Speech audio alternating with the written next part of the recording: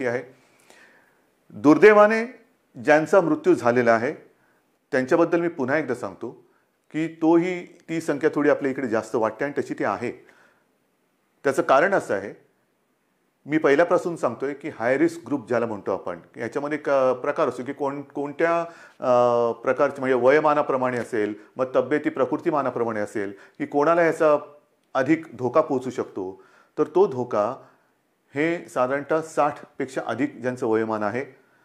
ज्यांना केवळ कोविडच नव्हे कोरोनाच नव्हे तर आधीपासून काही त्यांना विकार आहेत. मग हृदयविकार असेल रक्तदाब असेल मधुमेह असेल स्थूलपणा असेल किडनीचे काही आजार असतील त्यांच्यावरती हा प्रभाव हा जास्त गंभीर असा हा एक प्रभाव टाकतो आहे याचा प्रभाव जास्त गंभीर असतो. आणि त्याच्यात सुद्धा काही ठिकाणी असं आढळून आलेलं आहे की अगदी शेवटच्या टप्प्यात हे रुग्ण आपल्याकडे हॉस्पिटलमध्ये दाखल झालेत.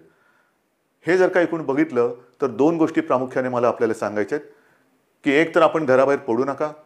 पडलात तर मास्क लावून बाहेर जा. पडलात तर म्हणजे अगदी गरज असेल जीवनावश्यक काही गोष्टींची तर. मी सुरुवातीला ज्याचा